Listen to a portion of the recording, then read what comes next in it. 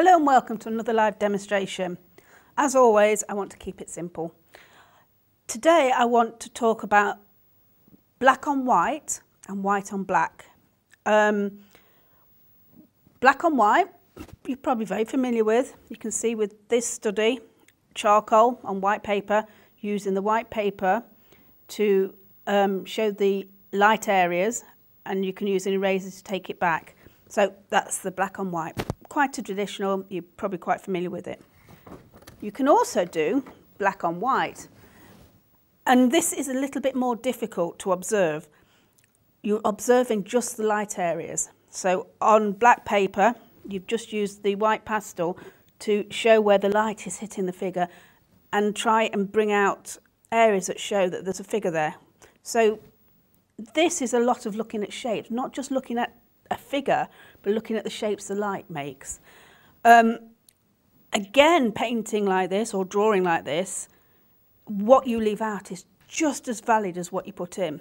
And I like using a black paper. You may have seen quite a number of my demonstrations are done on the black paper because I think it just adds a little bit of something different to the normal white, black on white. And it is a different way of looking. So you'll see both of those were the same subject, one with the light, one with the looking at the shadows. So what I'm going to do today is I'm going to do a little demonstration of a black cat on black paper. Why have I chosen a black cat? Because today is Friday the 13th. And I know for some it's seen as an unlucky day. In other cultures it's not, it's, it's a, a lucky day. Um, and black cats, again, are seen in some cultures as unlucky, or in other cultures they're seen as lucky. So I thought this crossed all of the look, and I like cats anyway, and a black cat is would look really nice on black paper, and it would just show um, what I'm trying to explain about what you need to leave out. So what I'm using today is the Derwent Artist pencils, and these are the blacks and the whites. So you have here three whites and three darks or blacks. I would do a swatch for you, but I tried it earlier and the camera wasn't really picking up the differences in the colours. But what you have is you have a pure white, so a clean white, and you have a warm white, so it's a little bit pinker. And then you have a cool white, which is a little bit bluer. Um, I can see the colours here, and I can see the colours of the core, but it really didn't show up hugely on the black paper. Um, I can see it when you put it on, but the cameras can't. And the same with the blacks. You've got a warm, so a browner black, a bluer black, and then a, a black black, a true black. And again, they're really interesting. They're, interesting to work with. It's something you have to learn to kind of see the real differences in black if you want a really true black, or maybe you want a much more subtle black. I'm going to be using um, the pure, the really white one at the moment, because it makes no really difference. As I said, the cameras didn't really pick up the differences in the set. Um, this is a little blunt at the moment, but as I've finished doing the areas um, that I need the blunt area for, I will sharpen it. And these pencil sharpen with a, a normal plastic sharpener, which actually comes in this set. So I'm going to start with the eyes, because I think if you start with the eyes, it helps you to decide how much or how little you need to do. So I'm just going to look at the light. So technically this is going to be black and white, but there's going to be all kinds of grey in between, depending on how heavy I push on with the pencil and how much of the black shows through. So I'm put, putting this on quite gently at the moment because it's easier to put it on than it is to take it off. But these pencils do take off quite easily. I've got a little white plastic eraser. Um, I've just exposed the edge so I can use it for any sharp areas and I use the softened end just for big areas. If I, if I feel I've gone too far, I take it back, literally take it back out. Um, so I'm just looking at where the lightest lights are in his eyes because I want them to feel rounded. And there's a, a nice round area. This is um, a picture from one of my colleagues, Jackie, because I was I have had black cats, but I haven't really got very many photos of them. And at the moment, my cats are Ginger and a Tortie, so that didn't fit into the criteria. So I'm just look really looking at the light because I think if you get the eyes right, the rest of it kind of, you don't need to work as hard. So it's quite light under here. I'm just going to strengthen off and that's just layering the white and you can see that coming up.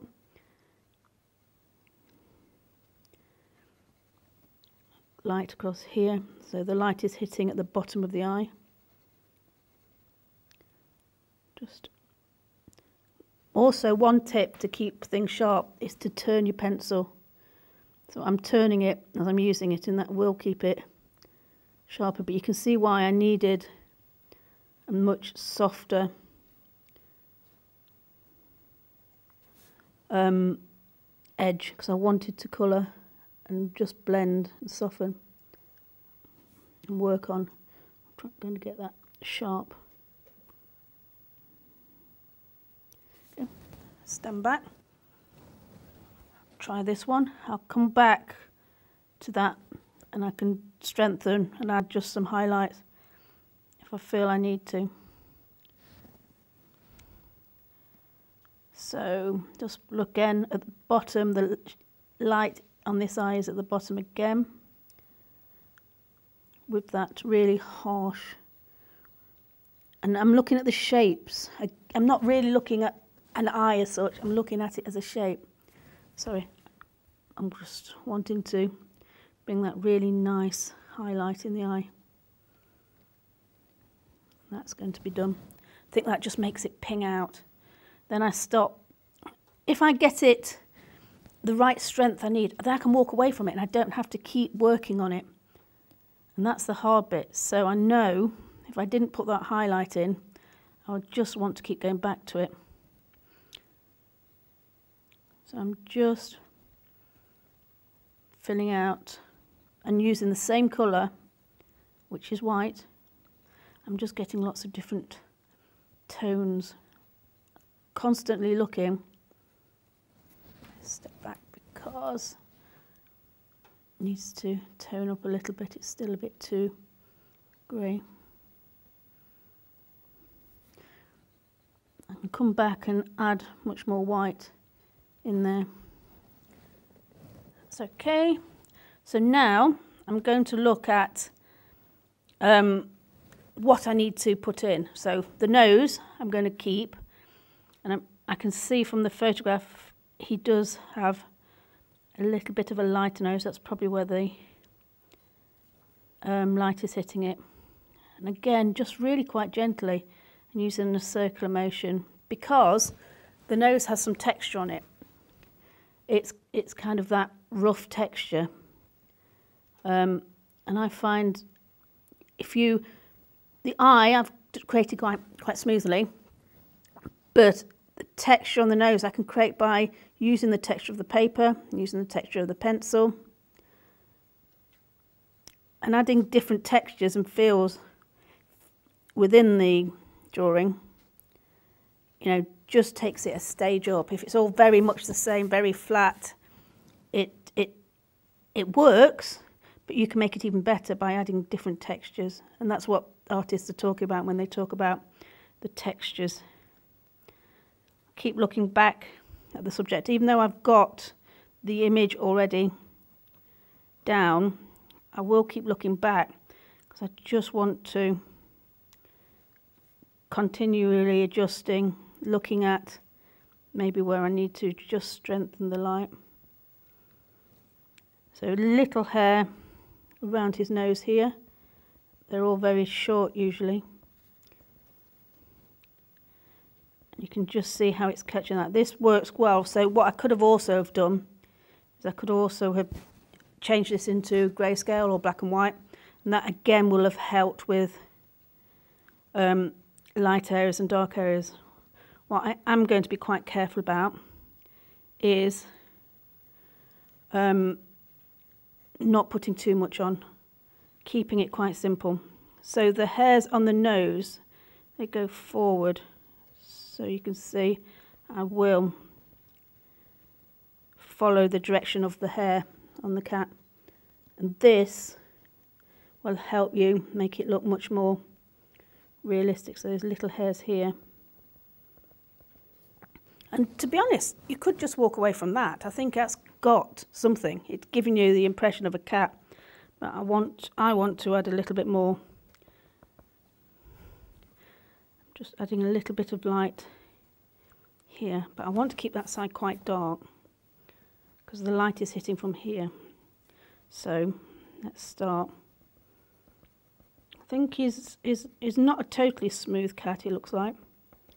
So this is where I'm going to use the sharpener because I think I need to add a little bit more detail I want to do and show the hair. So normal sharpener and you get quite a nice point. And like I say, by twisting it as you use it, you should be able to keep the point um, on the pencil a little longer.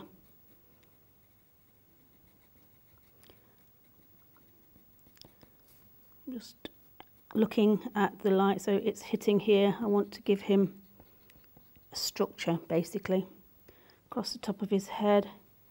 And you'll see how I'm going to change, because at the moment that looks quite um, even. So I will change that up a little bit soft lines here.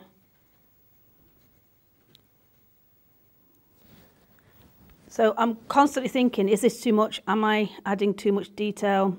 Am I putting too much on? At the moment it's fine. I haven't gone too far.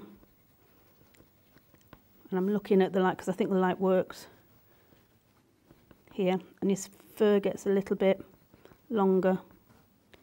But I'm constantly looking at the way the fur goes, so under his eye here, and then just going up.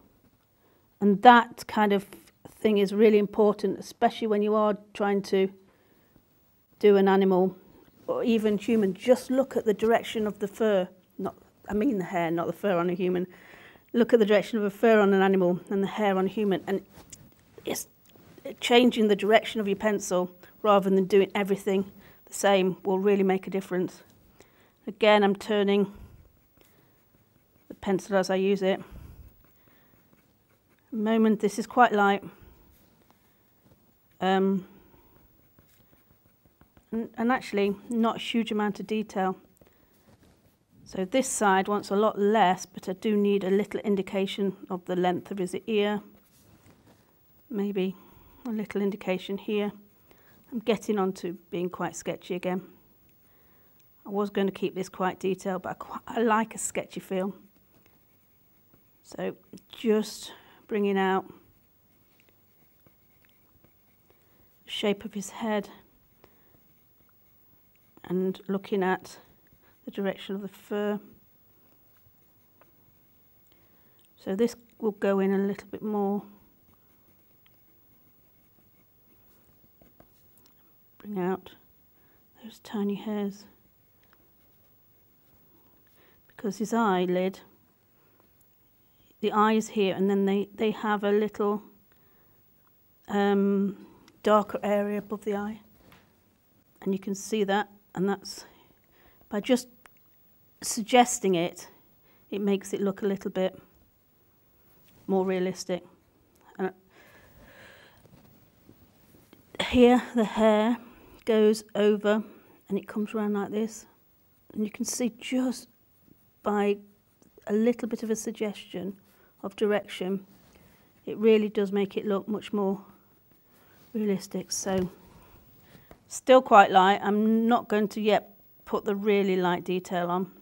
I think that can be done at the end when I have stopped building up.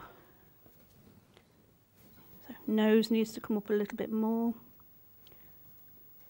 give it a little bit more structure. Like I say, I can't, all, I can't see with the light as much. It's, it's kind of flattened it a lot for me. So that's why I tend to stand away just so I can um, look and judge.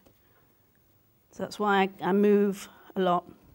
For you, you can walk away. You can come back.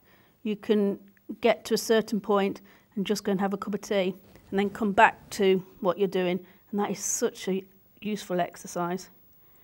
Best I can do is just to stand back on the stage. Okay. So I need a little bit of structure around here.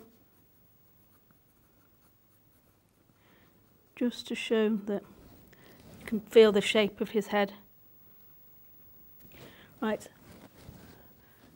Show a little bit of, and I am keeping this really, I'm thinking to myself, how much do I need to do? How little can I do? And that is my challenge. So he has little areas for whiskers. I'm going to concentrate on the bell because I'm going to just bring out the light. So this can be a sharp image. It's going to be um, much cleaner. So I'm looking at the shadow on the bell. Again, using a light and a heavier touch just to bring out the shadow. Catching. So I need to, a little bit sharper, so I need to just add a little bit more of a point to my pencil. You can see there that really helps just crisp off because it's a metallic bell. So I want to show that it is different to the fur. And that's what I'm going to just work on. Got a question for you. Yes. It's quite almost a philosophical question. Okay. On uh, why generally do you paint and draw? What do you get out of it? Um, there's many different things. There's, I need to do things to demonstrate. That's one thing. But I've always done it, and it's, you kind of get away from everything while you're drawing. My brain is working overtime, and I'm constantly thinking and judging and reviewing, but you get really engrossed in what you're drawing. I enjoy it. It's the main thing. I enjoy it. I love learning new skills learning new techniques, learning from other artists, look, you know, going to galleries and having a look and say, oh, I, that technique, and looking at masters and getting as close as you can, which a gallery allows, and seeing how the paint is put on and walking away from the painting and see how it changes and, you know, all that kind of thing. So it, to be honest, a lot of artists will find it's their life. I know professional artists that even when they're on holiday or where they are everywhere, they're drawing, they're sketching, they're thinking about their next project. It's something that doesn't stop. If you've got that creative spark in you, it's something that you just don't ever stop doing.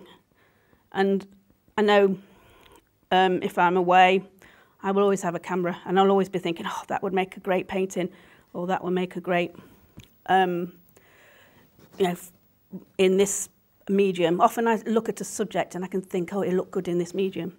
So it's all to do with, it makes you feel good. And I know it also has that, it can be very frustrating. And I know when people are going, it's not working, I can't do it, it's not working. I, I get that. So often I get, I kind of go, that didn't work. Even though, you know, I may have done it before, I may be quite competent in that medium number of times that it just doesn't work and I get frustrated and kind of go, it just isn't working, I can't do it. But I don't usually let that stop me. I usually try something different. That's where I like to think, well, if it's not working this way, how can it work? Um, so I always advise people, a lot of people ask me what they do if they have artistic block. They just don't know what to draw. And my answer is literally draw anything. Draw something that's in front of you, a cup. And don't, my, my main tip is don't draw for a reason. There's no reason. It doesn't have to be an end product, doesn't have to finish, it doesn't have to be for a reason. Just do it because you want to make marks on paper, you want to see what this product does. Oh no, that, that wasn't quite what I anticipated, but I quite like parts of it. And just do it. That's my own thing. Don't do it as a final piece. Don't have a finished piece. Walk away from a, a, a piece that's not finished, you know, and then come back to it because actually you'll surprise yourself and think, oh, actually I like it as it is. A lot of my pieces look quite unfinished. A lot of it is because I need to do things quite quickly and I need to get things finished in a short time because you're going to get bored of me going on blathering about this and that. So a lot of my projects are quite short. So sometimes it's really different to do a longer project and actually spend days on something. So I choose a medium that suits that, like oils. Oils, you need to keep coming back and spend a bit more time. Okay, so I think he's building up. I can still keep working. And actually, I think I might do something over here. Like I say, there comes a time when you've worked too much. Don't know if I've got enough shape in his face here. Or enough. Right, I've worked too much on this. I want to take him back. So I'm just going to use an eraser and literally take out some of this area here. I overdid it. I was talking too much. That's not like you. Funny. Uh, but you can see how actually nicely these um, pencils um, are removed from cartridge paper. But actually, sometimes taking areas out or leaving areas help the subject. Like I say, I can't overly see this. So what I'm going to do now is I'm just going to finish by just really bringing out some of the areas I want to show us light. And that's with a tougher pencil back into the eye.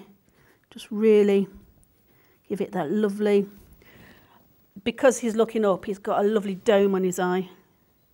I actually don't know if it's a he or she. I think it's a he. And just really add that highlight. Let's bring a little bit more into the nose. I'll just add a little bit of texture by dotting around the nose because they have that rough little nose. And then a little bit more because it's a black cat. So, bit lighter on this side. And you can see there, by just adding a little bit more light, how you can take the composition up a little bit to another level. Just Right, he's not got whiskers yet. So they usually have a few coming from the eye and then they have a few here. Again, I don't want to over I want to give you a suggestion of um, whiskers. I don't want to overdo it. And this is a great exercise for learning how to resist overworking. I think I can leave it at that. Because all, all I'll keep doing is I'll add bits to it and then I'll take it back off again. And this is why I say walk away. So I hope you like that. I hope you can see what's actually the point of leaving things out. How I think taking that bit out there, for me, don't know if you can see it, it's just make it I could probably take a little bit more out if I was thinking about it a little bit more. But you don't need to do every little detail of a drawing. Sometimes the suggestion, and this is with that question earlier, you know, why do I, I draw? Because I enjoy putting something on paper and, and seeing how something will develop and it doesn't always happen in the way you expect. And the unexpected is, is something you can really learn from. So I hope you enjoyed that. So the black cat on black paper on Friday the 13th, fingers crossed, touch wood, if you um, are worried about anything like that. Um, and join us next week for something a little different. So next week we will have a number of different artists in. with different mediums, all doing live demonstration for you on the Tuesday and the Wednesday. Um, as well as Jeremy Ford on the Friday. Um, so next week is packed with live demos. So I hope you join us and tune in and um, hope you enjoyed this demo and join us soon.